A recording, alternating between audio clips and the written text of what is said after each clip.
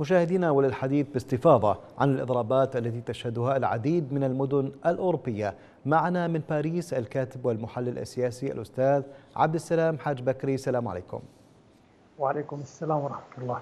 حياكم الله أستاذ عبد السلام. كيف تفسر تزامن التظاهرات بالعديد من الدول الأوروبية بذات التوقيت؟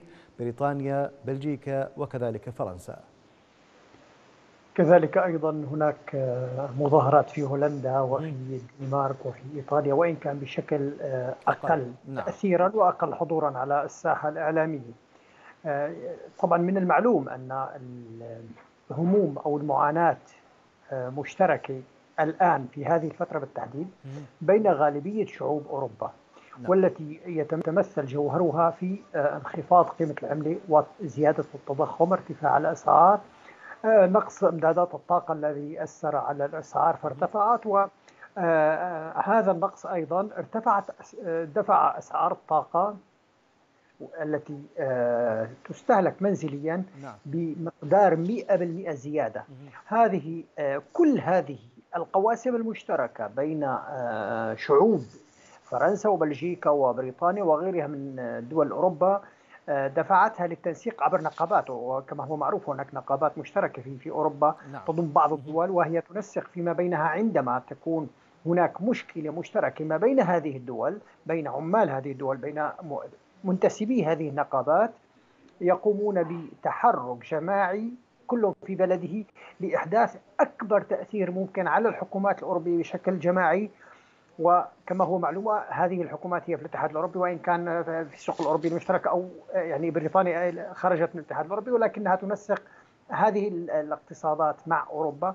لذلك فهي مرتبطة عضويا والتأثير الجماعي على القرار الأوروبي قد يكون أكثر فعالية حسب رأي نقابات العمال. وهي نسقت هذه المرة وأفلحت إلى حد كبير كما قلنا انضمت عدة دول عدة نقابات في عدة دول لهذه المظاهرات وخرجت مظاهرات كبيرة جدا في فرنسا أكبرها طبعا في فرنسا وبريطانيا طيب. وأقلها في البلدان التي ذكرناها طيب هنا هنا ذكرت أن الأوضاع الاقتصادية ومصادر الطاقة هي وراء هذه التظاهرات ولكن قانون التقاعد الفرنسي وخطة ماكرون لماذا زاد من زخم هذه زخم هذه التظاهرات؟ حقيقة حقيقة تراكمت المعاناة دعنا نقول أو النواقص على الطبقة العاملة في فرنسا بشقيها الإداري واليدوي نعم. العمال اليدويين وتضافرت معها طلبات تجمعت تكدست طلبات هذه الشريحة العمالية الواسعة في فرنسا من الحكومة الفرنسية نتيجة النقص في الدخل نتيجة تراجع قيمة اليورو في فرنسا وارتفاع الأسعار في السوق. هذا الجانب الأول. الجانب الآخر والذي أحدث تأثيرا كبيرا وفارقا في الآونة الأخيرة هو إصرار ماكرون على تمرير قانون التقاعد الذي ترفضه أكبر شريحة ممكنة واسعة أو شريحة واسعة جدا من العمال من الطبقة العاملة في فرنسا.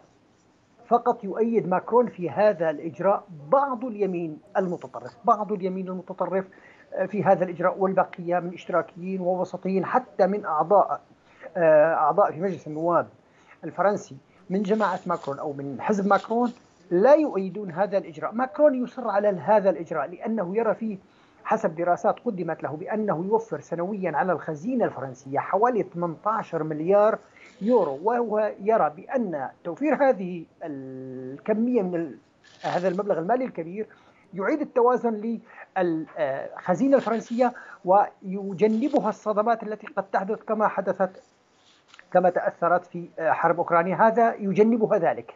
ومن جانب آخر أيضا ماكرون يصر على هذه على تمديد سن التقاعد رفع سن التقاعد إلى 64 سنة استجابة ليمين أو استمالة لليمين المتطرف الذي يرغب بهذه القضية ولأنها تخفف من قدوم اللاجئين إلى فرنسا تخفف حاجة فرنسا لقدوم لاجئين وتوظيفهم في القطاع العام والخاص في فرنسا. ولكن القاعدة الشعبية رفضت هذا القانون. إلى حد الآن هي ترفض هذا القانون أو المقترح. تماما طبعا هناك شرائح واسعة جدا خرجت والجانب اليساري بشكل عام اليسار الفرنسي رفض هذه الخطوة تماما جزء كبير من حزب ماكرون نفسه وجزء من اليمين نعم. يرفض هذه الخطة رغم أن اليمين يحبذها قادة اليمين تحبذها لأنها تخفض في النهاية على المدى البعيد تخفض تخفض نسبة اللاجئين المقبولين في فرنسا لأن كما نعرف فرنسا هي آه، مثل بقية الدول الأوروبية هي بلد عجوز يعني نسبة السن نعم. الشباب. في فرنسا مرتفعة ونسبة العمالة أو الشريحة القادرة على العمل تنخفض تدريجيا وهي تضطر بذلك لتعويض هذه هذا النقص من خلال استخدام عمالة خارجية واردة من شمال أفريقيا أو من دول أخرى.